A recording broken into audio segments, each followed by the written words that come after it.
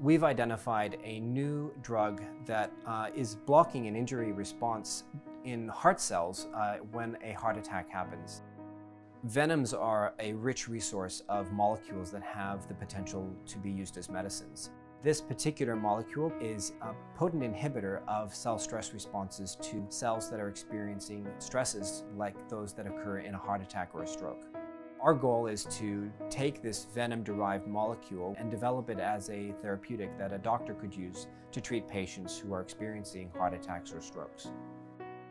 The decades of research that have happened in cardiovascular research have not delivered a single drug into the clinic that prevents cells from dying in the context of heart attacks and strokes.